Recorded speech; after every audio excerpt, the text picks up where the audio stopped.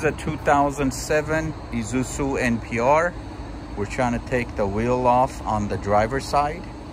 And the way we do this is uh, you open it up clockwise. Now we'll show you how this works.